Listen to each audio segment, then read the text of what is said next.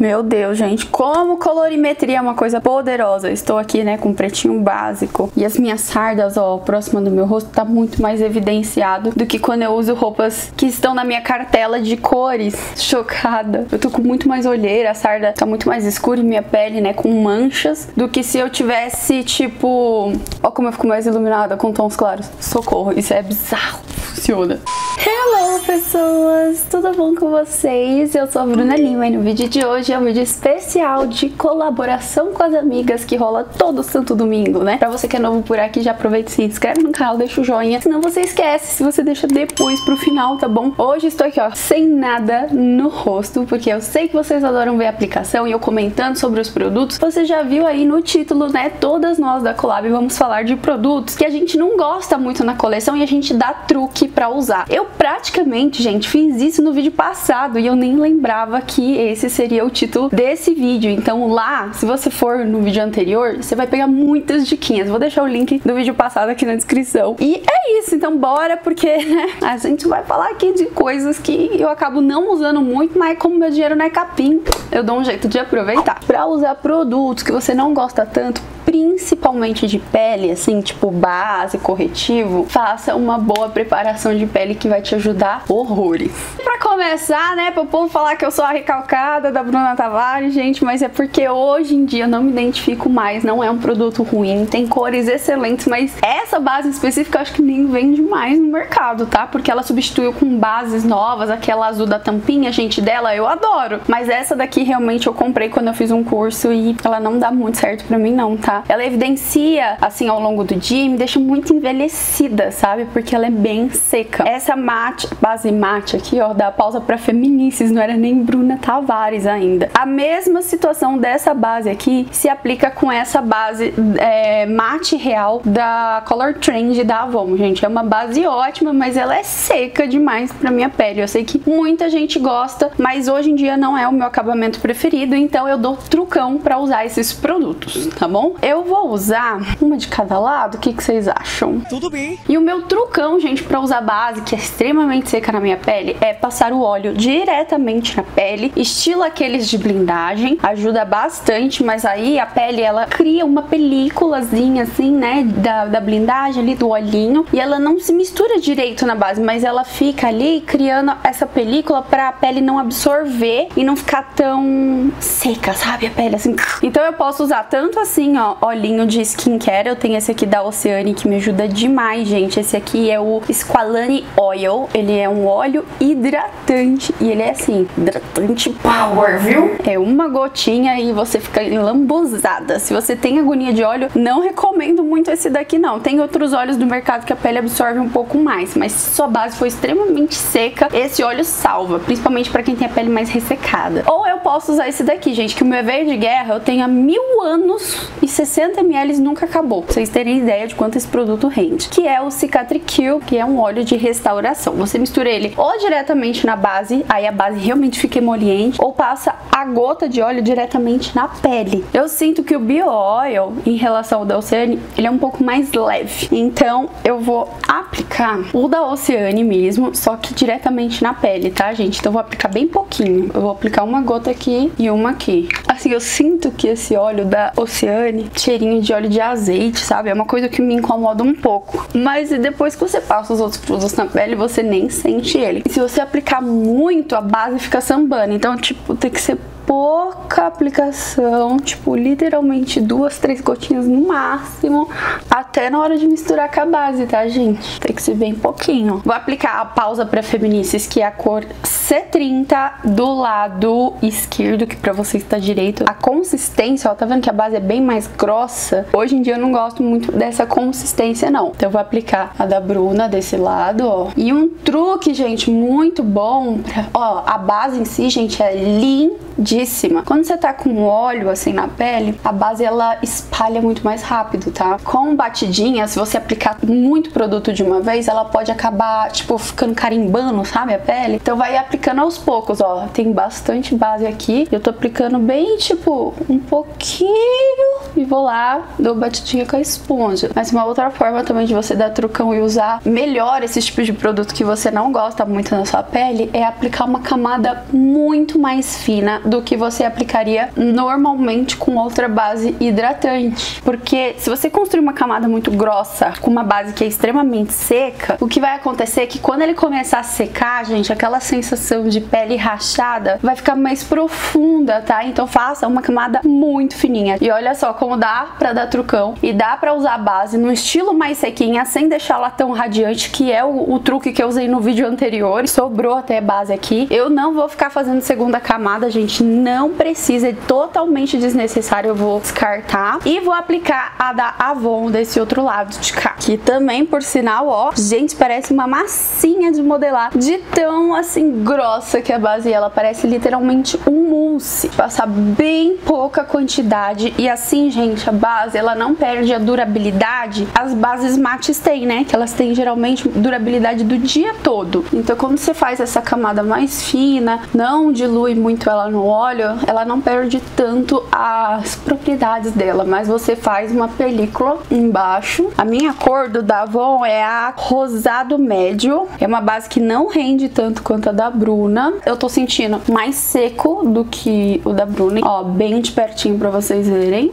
Avon, ó, tem uma leve radiância, mas não tá extremamente seco. E Bruna Tavares. Eu vi algumas pessoas reclamando desse corretivo, gente, mas eu uso ele bastante. Como vocês, eu presto atenção nos comentários de vocês, tá? E eu vi gente falando que esse corretivo aqui, ó, não deu certo. Esse Fios Mood, que você acha ele muito seco, etc e tal. E aí tá o trucão também, tá? Pra vocês conseguirem usar. Você pode colocar o biolho aqui dentro direto, mas ele vai mudar a consistência, lógico, do corretivo. Ou você pode usar, eu vou até pegar o biolho assim normal, pôr no dorso aqui da mão uma gotinha. Ó, gente, é um negocinho de nada. Aí você vem aqui com um pincel chuchado e passa aqui, ó, nesse biolho. Gente, ele fica bem líquido, tá? Tem que tomar cuidado quando você faz isso com óleo, você tem que passar com a mão muito leve, porque o óleo, gente, ele literalmente é emoliente. Então, ele vai tirar a camada de baixo da sua pele se você não tomar cuidado. Ó, eu pego a esponja para não tirar tanto da cobertura. Eu venho, tiro todo o excesso que tá aqui, ó, na própria esponja. Tá vendo como ela tava limpa? Eu peguei o excesso da esponja e aí sim eu venho espalhando com a esponja com batidinhas muito levinhas também. Daí ele não vai perder muita cobertura, vai adicionar bastante hidratação, mas você tem que tomar cuidado, senão ele arranca as coisas de baixo, tá? Mas olha só, essa pele já de milhões, porque é meu dinheiro, né, capim, gente? Eu sei dar truque, sei usar tudo que eu compro, mulher, mesmo as coisas que eu não gosto. Pro próximo produto, gente, já vou dar duas dicas em uma. Esse produto aqui, que é o For Glow da Mari Saad, eu comecei a amar os produtos da Mari quando eu comecei a testar, Oceane, enfim. E eu comprei essa paleta, gente, muito, muito empolgada, que ela é bem assim, tem esses iluminadores lindíssimos, tem Golden Hour, é, o Sugar Glow, Soft Gold, enfim. Mas todos eles são iluminadores que mancham na minha pele porque ela é clara. Para eu conseguir usar essa paleta, para quem é um pouquinho mais bronzeada que eu, já não vai ter esse problema. Então o truque para eu conseguir usar ela ou é reforçar bastante isso aqui com bronze e passar o iluminador, porque aí ele vai desaparecer, né? O bronze vai estar tá por baixo mais escuro. Ou também fazer, gente, com um truque do blush. Esse aqui é um produto até que eu não uso muito. Eu acho ele muito pigmentado demais, é da My Life, imita igualzinho os blushes da Mari Saad. Esse daqui é na cor Cherry, mesma cor do dela. A embalagem é igualzinha. Enfim, eu pego bem pouquinho, tá, gente? O blush é muito escuro. Tenta até tirar um pouco do pigmento assim, ó, pra você não virar uma chinelada. Aí, ó, eu subo até aqui um pouquinho mais o blush, tipo... Acho que eu usei muito a mão. É verdade. Sobe aqui, tipo o que a Karen Bakini faz, sabe? Aquele mais assim. Mulher de Deus, o que que eu fiz aqui? Eu me empolguei. Eu venho aqui com a esponja, dou batidinhas. Ó, já diminui um pouco. Gente, toma cuidado. Esse blush é muito pigmentado, até por isso que eu nem uso tanto. Agora eu vou vir com o iluminador pra dar o trucão. Vou vir primeiramente com esse aqui, ó. Teoricamente é o mais claro da paleta. É o Sugar Glow. Eu venho polindo bastante a pele, ó. Ó como ele fica um brilho. E daí ele não aparece a mancha porque ele é mais escuro, logicamente, porque, né? Tudo bom, né, gente? Eu apliquei um pouquinho demais do blush aqui, vocês me perdoam, mas no final eu juro que vai dar tudo certo. Tá vendo que assim, ó, ele brilha, parece tudo claro, mas quando você vira a paleta assim, ó, dá pra ver o quanto a cor de fundo é escura. Então, é um produto ótimo que na teoria eu não iria conseguir usar, mas aí eu dou esse trucão e tá tudo certo. Se você achar que ficou ainda muito escuro, daí eu recomendo você vir com alguma coisa assim, um estourinho mais clarinho. Ah, tem um iluminador antiguíssimo aqui que eu tenho da SP Color, gente, ó, esse Baked. Tá vendo que ele é bem clarinho? Aí você pode vir aqui e dar só um pontinho de luz assim, bem no alto. Ele disfarça, sabe? É tipo um mix de iluminadores. E aí quando você vê, você não fica com aparência de manchada. Próximo produto, gente, que é pós soltos iluminadores. Eu comprei esse aqui, ó, da Catarine Hill, numa apresentação, no workshop que eu fui. Usaram em noiva, gente, é a coisa mais linda, mas olha a cor dele e olha a cor, por exemplo, do meu colo. O como eu, eu sou branquela e esse pó, gente, ele é escuro pra mim, ó, tá vendo? Porque se eu passar ele abaixo dos olhos, ele vai oxidar, ele tem muita partícula de brilho. Tá vendo ó, como ele é bem amarelado e eu sou branca? Ah! Ah! Meu Deus, olha o que, que eu fiz. Como você é burro. O trucão que eu faço pra usar esse pó que ele é iluminador, tá vendo como ele brilha? Ele parece literalmente um iluminador, tá vendo? Ele tem uma radiância, mas bem amarelo. Os novos com muita tecnologia, gente, com brilho, é esse aqui, ó. Por exemplo, esse aqui é top das galáxias. É o da Ana Paula Marçal, mas a Bruna Malheiros também tem. Esse também é glow, ele tem brilhinho, mas, gente, esse aqui você pode aplicar abaixo dos olhos e não tem problema. Então, o que que eu faço pro trucão? Eu venho, logicamente, tirando todo o acúmulo que tá aqui, ó, do outro corretivo, porque daí quando você aplica óleo, gente, ele não seca. O óleo não seca assim tão rápido na pele. Então ele vai ficar sambando aqui, ó, é normal fazer esse acúmulo aqui ó, de hidratação. Eu vou selar com esse pó normal, com um pó que você goste, um pó que não tenha brilho, tanto faz, gente. Que o brilho desse da, da Ana Paula Marçal é tão sutil que praticamente não aparece. Então vou pegar com uma esponja assim, ó, e aí eu um pouquinho só, umas batidinhas da esponja, ela já tira a marcação aqui, ó. Eu vou selar a minha pele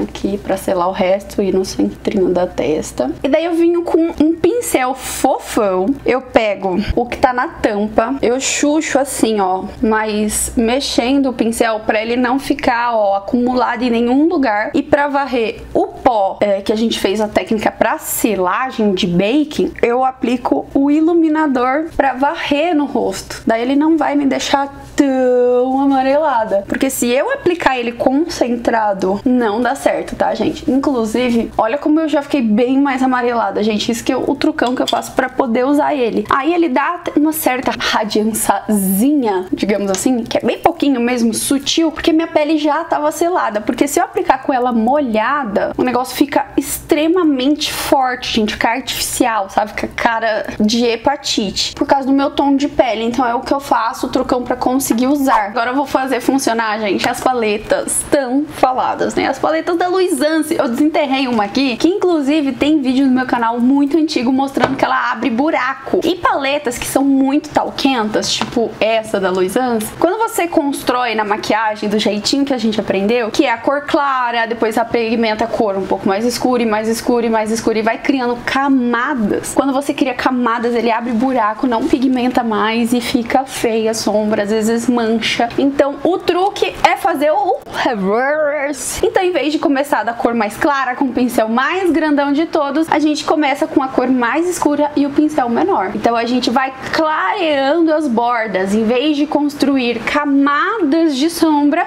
a gente cria transição. Mas em si é uma técnica muito legal que deixa a maquiagem com um acabamento mais impecável, assim, mais fininho, porque você não tá fazendo camada de pó com camada de pó, mais camada de pó, mais camada de pó.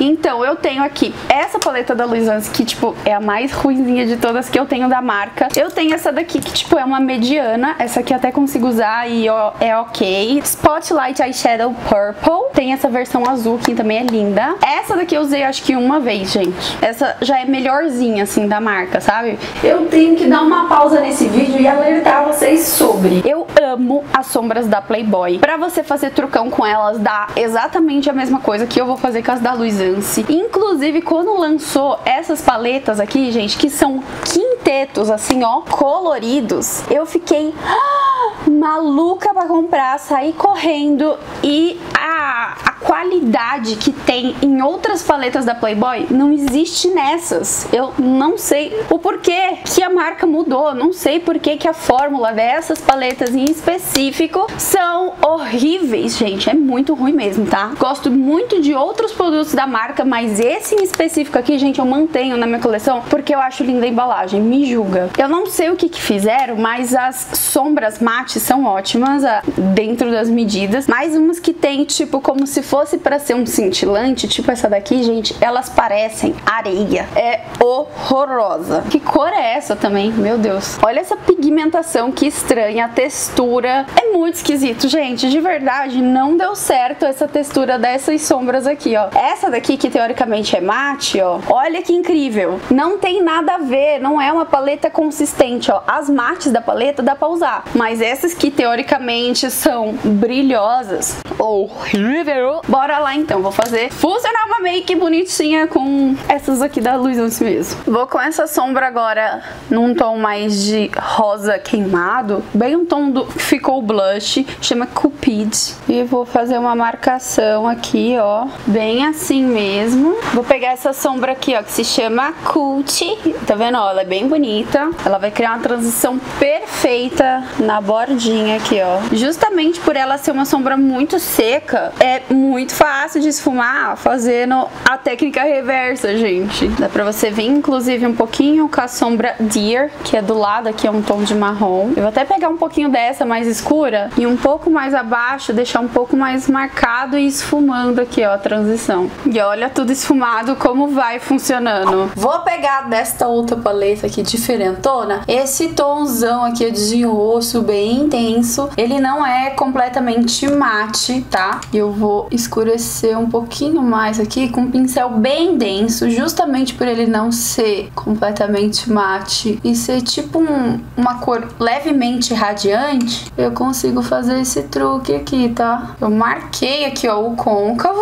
e aí com um pincel assim, bem titiquinho, eu vou pegar essa Victory aqui, é um tomzinho de roxo, bem na bordinha aqui desse roxo mais escuro, para não ficar manchado. Tem que ter um pouquinho mais de paciência, você vai ter que saber mais técnica, vai, vai sim. Mas, como eu dizia na capi, eu consigo aplicar as técnicas, a paciência e fazer, gente. Tipo, a única camada que eu fiz aqui, porque tipo aqui eu fui respeitando os limites da borda, vocês entenderam? Eu apliquei primeiro a sombra, esfumei a borda dela, porque a outra sombra esfumei a borda dela. Essa seria a segunda sombra que a gente tá aplicando. As sombras da Luisance, elas trabalham geralmente com esse limite de duas sombras já é o suficiente. Se você aplicar mais uma camada aqui, começa a ficar um pouquinho menos pigmentado. Essa paleta em específico tem muito mais pigmentação do que aquela outra bonitinha lá que eu falei que mancha e cria buraco, tá? Ó, essas sombras que tem um, um brilho, ó, se vocês verem, se eu aplicar aqui, ó, como elas são diferentonas, tá vendo? Eu vou até fazer o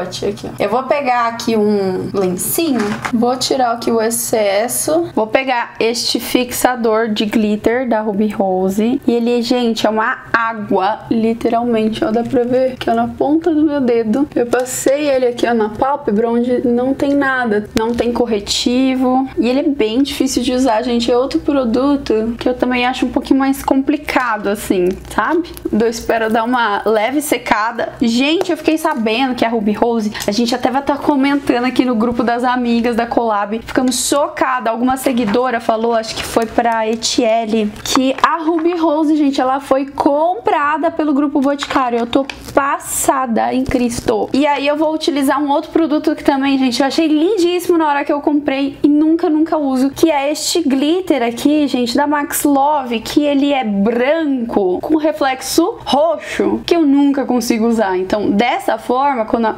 pálpebra tá um pouco mais transparente, assim, eu acho que fica mais bonito. Ou quando tá em cima do próprio pigmento da cor do reflexo. Senão eu não consigo usar ele, sei lá. E o glitter em si da marca, eu acho que parece um pouquinho mais o de escola e hoje em dia eu prefiro ou um glitter prensado, que dá menos trabalho e tá tudo bem, mas esse aqui dá realmente muito trabalhinho, ó, esse glitter aqui, não sei se dá pra perceber que ele é arroxeado, ele é branco transparente com um reflexo roxo, chama Glitter Neon 18. Não é feio não, ó, vocês vão ver, vai ficar bem bonito e delicado aplicado dessa forma, mas tá longe de ser um pigmento que tipo, nossa, como eu gosto disso, fica lindo na minha maquiagem, tá vendo? Ele é muito areinha, me incomoda real, sabe? Real oficial. Pra deixar mais bonitinho, vou usar esse outro pigmento da Playboy que eu nunca, nunca uso. Eu esqueço dele, gente. Se chama Cristal Sombra em Pó. Esse aqui é na cor PB08B1. Não tem cor, gente. Eu odeio quando as marcas fazem isso. Tentar pegar com um pincelzinho assim, ó, mais longo, certo? Aí meio cabeludinho assim, sabe? De sombra. Pra aplicar pouquíssimo produto. Eu vou chuchar bastante aqui, ó, e tirar bastante o excesso. Eu vou passar aqui só pra ter certeza que tá selado e não vai grudar a minha pálpebra, ó. Ele é tipo só um topper de cor, ó. Também roxinho. Vou pegar esse tom de roxo mais roxo da paleta. Aqui, ó.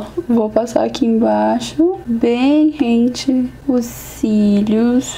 Inclusive vou usar a cor pastel nesse tom de lilás lindo, gente. É um lápis maravilhoso da marca, tá, gente? Não se aplica a coisas que eu não gosto. Esse realmente eu amei. Já fiz um contorno labial aqui um pouco mais escuro. Apliquei os cílios postiços e máscara. Coloquei umas pedrinhas aqui bem estilo Karen Bakini. Os cílios é o G801, esses da China mesmo, gente. E eu vou pegar esse batom que eu falei que me apaga, me deixa com cara de morte. Uma seguidora falou pra eu fazer fazer o contorno mais escuro e fazer aquele estilo de lábio, sabe aquele ele é mais claro dentro e em volta ele é mais escuro. Então, já apliquei aqui, vou misturar ele com um batom que eu geralmente não utilizo, que é esse tom de roxo aqui, ó. Que ele é cintilante, eu acho ele diferentão, gente, ó. Tá vendo? E ele é bem quente, então acho que vai dar uma quebrada. Ele é da Jequiti, é muito bonito, assim. Eu não sei por que, que eu não uso muito ele. Ficou um degradê bonitinho, tá aceitável. E esse, eu geralmente não uso ele sozinho, porque eu sinto que ele realmente precisa do contorno. E antigamente eu não usava, então provavelmente hoje eu vá usar mais. Vou finalizar aqui com essa bruma que também eu não uso muito, gente, da NYX, porque ela é uma bruma para efeito mate. Ela só funde todo o pó na pele e depois o acabamento fica mate por cima. E como geralmente eu tô gostando um pouco mais desse acabamento mais glow e tal, é um produtinho que acaba às vezes esquecido, mas dá para usar, principalmente no calor, que aí a pele já vai emanando um pouquinho mais de óleo no verão e tal, mas enfim. Olha só então o resultado da nossa maquiagem maquiagem, meu Brasil. Pior que eu gostei, viu, gente? Gostei muito, pra ser sincera. Sinto um pouco